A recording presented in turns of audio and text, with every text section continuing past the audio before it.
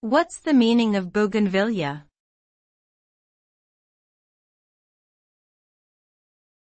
Bougainvillea.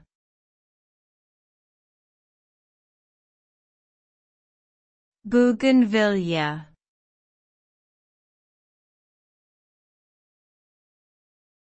Bougainvillea.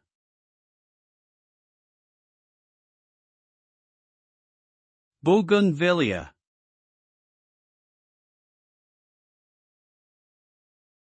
Bougainvillea is a type of tropical plant that produces bright and colorful flowers. The plant is native to South America, but is now commonly found in many parts of the world due to its beauty. Bougainvillea flowers are known for their vibrant hues, which range from pink to red to purple.